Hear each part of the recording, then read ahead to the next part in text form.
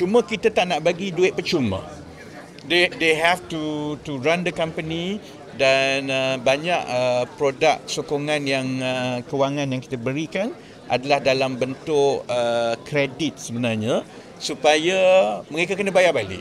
Sebab kalau bagi percuma ni tak ada pada orang lain lah. Duit yang sepatutnya sampai kepada seribu orang dia sampai kepada seratus orang je lah kerana seratus orang. Sebab uh, sebab dia tak bayar bayar balik. Yang kita buat sekarang ni dia kena roll balik. Dan sebab itu dia melibatkan kerjasama dengan bank-bank supaya kalau dia pergi ke bank sendiri mungkin dia tak dapat.